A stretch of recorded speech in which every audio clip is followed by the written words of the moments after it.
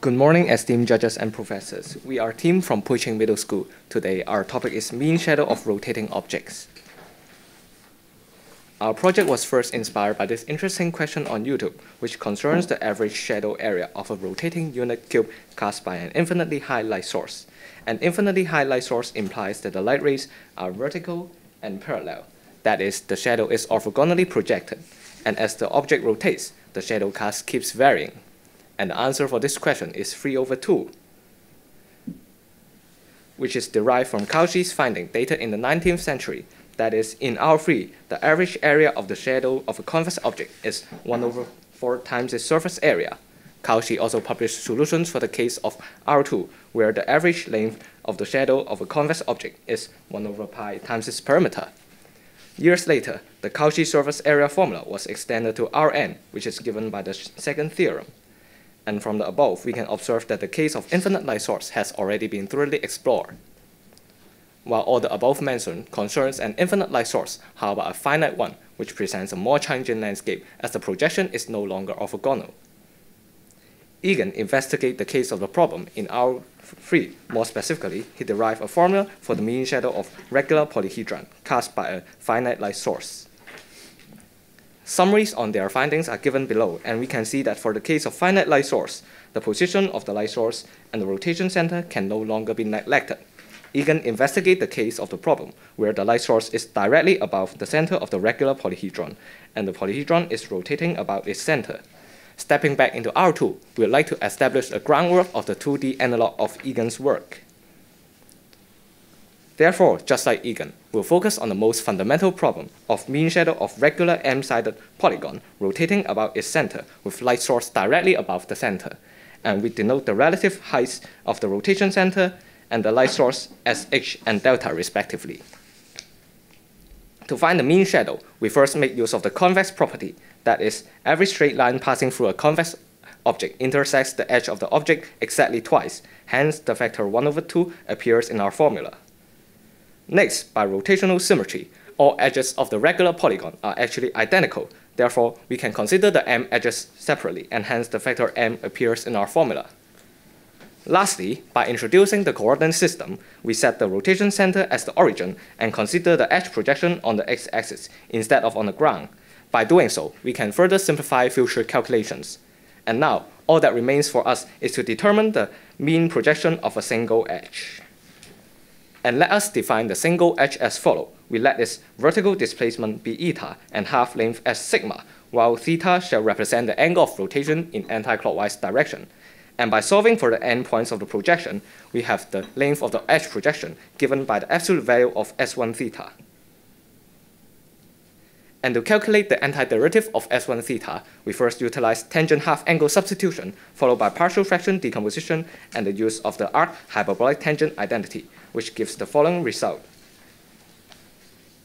And to handle the absolute value of S1 theta, we determine the sign changing points, which is given by theta 1 and theta 2.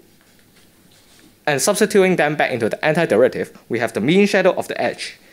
And by reassembling the edges into a regular polygon, we have completed the 2D analog of Egan's work. That is, we derive a formula for the mean shadow of a regular m-sided polygon with circumradius r. And we conduct numerical verification and find that the mean shadow over perimeter converges to 1 over pi as the light source height delta tends to infinity, which matches Cauchy's results.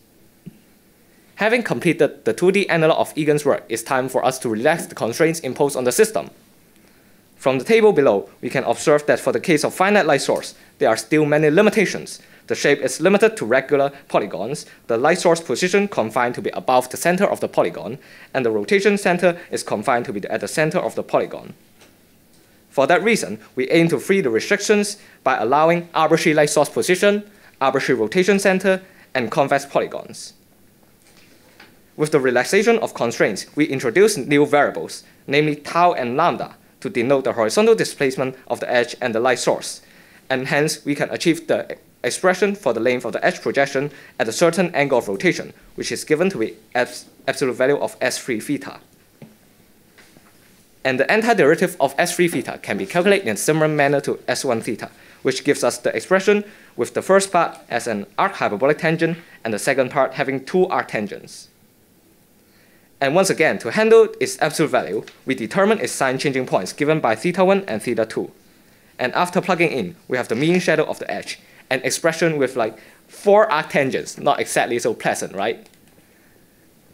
Therefore, further simplification is needed. Making use of the arctangent addition formula results in five cases, which, by ruling out some impossible case, we can reduce to three cases and finally to a single unified case.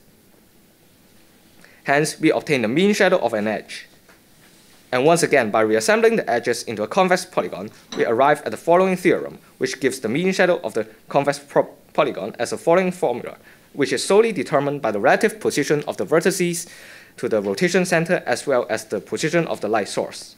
Besides, it's worth noting that the, the result is independent on the size of lambda. For that reason, we propose the following non-trivial theorem on the invariance of mean shadow on flipping light sources about rotation centers, as demonstrated by the two curves on the right, as the object rotates at a certain angle of rotation, the shadow clearly differs as indicated by the two distinct curves. However, the overall shadow, which is represented by the area under the curves, are actually identical. While simulations conducted on computer also validate our findings.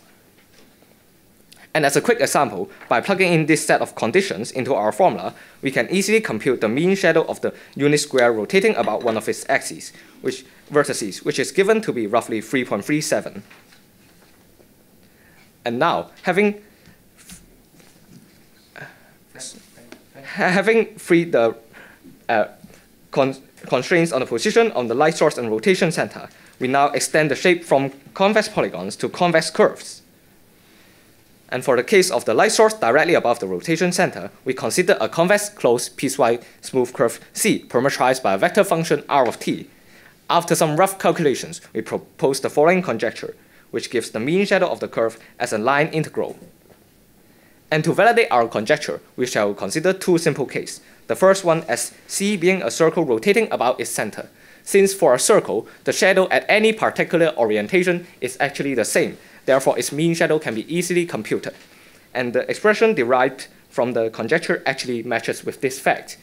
As for the second case, as the light source height delta tends to infinity, the mean shadow of C then becomes 1 over pi times the perimeter of C, which matches Cauchy's results. Actually, we propose the conjecture after the submission of the paper, and we'll give a brief idea on how it's obtained. That's because by approximating a con convex closed curve with a polygonal chain, we can apply our mean shadow theorem on convex polygons and hence calculate the mean shadow of the curve. And now we propose a way to deal with non-convex shapes. First of all, note that for a non-convex polygon, the mean shadow of it is equal to the mean shadow of its convex hull.